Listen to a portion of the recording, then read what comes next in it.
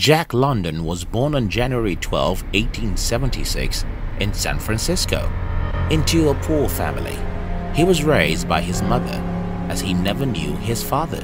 The man he thought was his biological father, William Chaney, denied ever being married to his mother.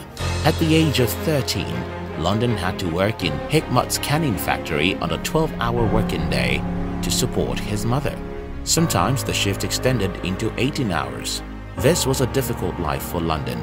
In a bid to get out of this unbearably hard work, London borrowed money to buy an old small boat and became an oyster pirate. After a few months, his boat became damaged beyond repair.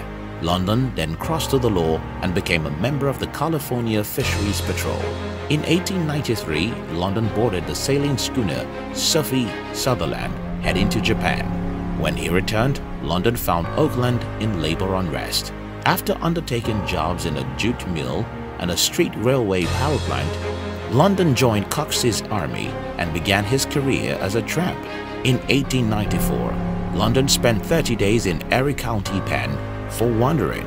After a series of unfavorable adventures, London returned to civilized life. He managed to graduate from Oakland High School with hard work of self-training. In 1896, he entered the University of California in the autumn. However, financial circumstances forced London to quit university in 1897, and he never graduated. London, who would never give up, went on to self-educate himself.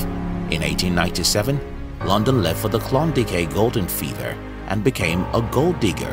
However, London had a very tough time in the harsh Klondike, which was even detrimental to his health. London lost his four front teeth in the event. London soon concluded that his only open escape from poverty was to receive education and sell his brain, which he did.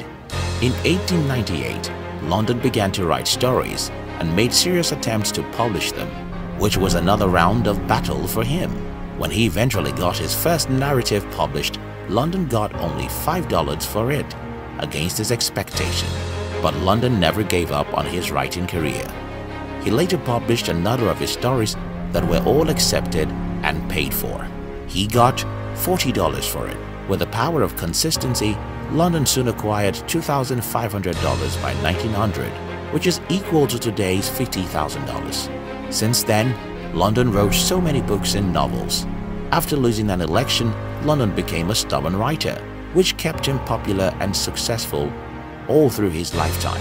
At the time of his death on November 22, 1916, London had written about 145 short stories, 23 novels, 45 poetries, among other plays and autobiographies.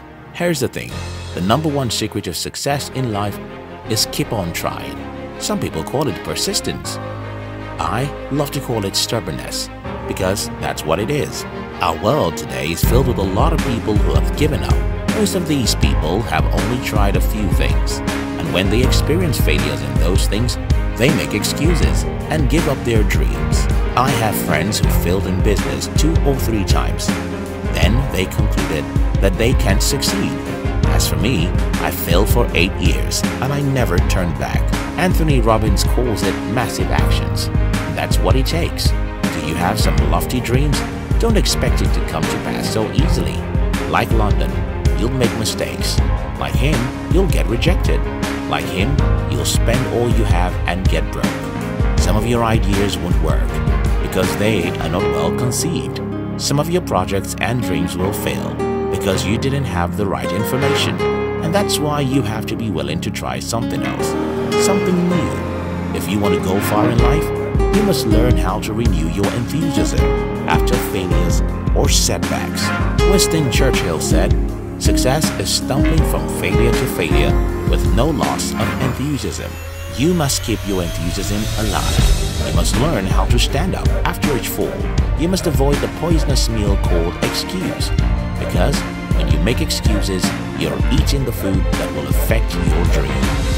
If you like this video, do subscribe to this channel so you'll be notified when we publish our next video. Also, like this video or share it with your friends on social media. Thank you. We love you.